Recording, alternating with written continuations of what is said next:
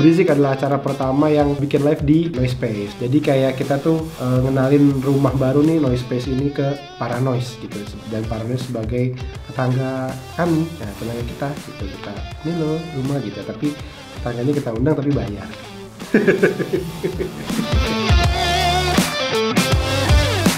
gue sangat berterima kasih sekali. Gue tapi pastinya juga Awe ngerasain lah. Gue dan Awe dari pertama kali bikin bikin berizik kita tidak menyangka bahwa sampai segini responnya antusiasnya dari para noise gitu. Gue sih selalu terharu ngelihat gimana mereka yang mau rela-rela datang jauh-jauh. Dua menit katanya udah udah full book.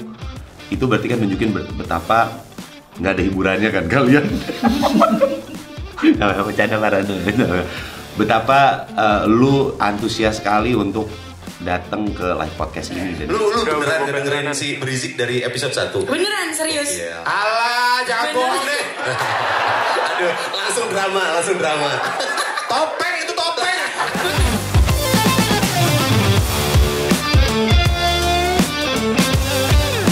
Persiapan untuk berisik berisik tetangga sebenarnya kalau dari segi konten uh, eh, gue sama Kang Dika terbiasa agak sedikit untuk banyak improve ya gitu. Jadi lihat nanti aja gitu. Jadi malah kita lebih mempersiapkan uh, baju ya. Kita malah sampai belanja bareng. Secara konten jokes tidak ada yang disiapkan. Kita akan masuk ke segmen diajak obrol-obrolan lucu tok loh di sini. Gak ada improv komedi loh, jancok tahu gitu enggak aku. Bajingan. Nah ini aku punya tetangga Virgon pak. Wajar bila saat ini ku ingin kopi kalian. Ini ya bisa loh. Ini nggak bisa loh.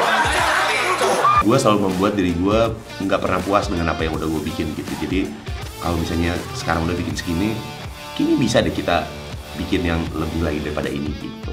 Pengennya juga nanti makin lama makin naik gitu. Entah jumlah penontonnya. Itu sih pengen pengen rutin. Karena gua mungkin Kang Dika juga sama ya. Gua dari stand up jadi orang panggung lah ibaratnya gitu. Kita tuh seneng seneng manggung gitu. Sangat menyenangkan gitu. Dan bertemu para noise juga menurut uh, gua tuh sesuatu yang uh, bagus gitu untuk menjalin hubungan gitu.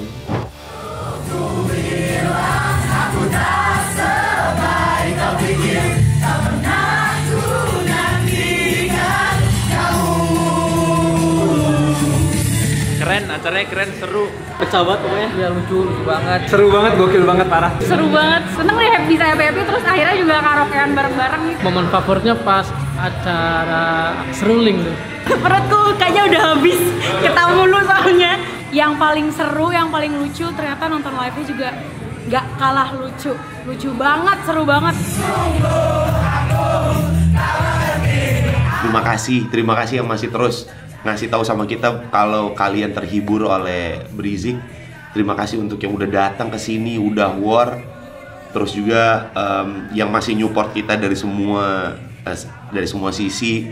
Mudah-mudahan semuanya terbayar gitu. Kalian ngerasa itu nggak sia-sia kalian ngerasa semuanya itu terbayar dengan senangnya gitu. Mudah-mudahan kita bisa terus ngasih yang terbaik buat para noise tungguin kita. Semoga nggak bosen semoga kita bisa selalu bikin acara yang seru-seruan bareng. Terima kasih para noise. Move you again. Sarangi sarangi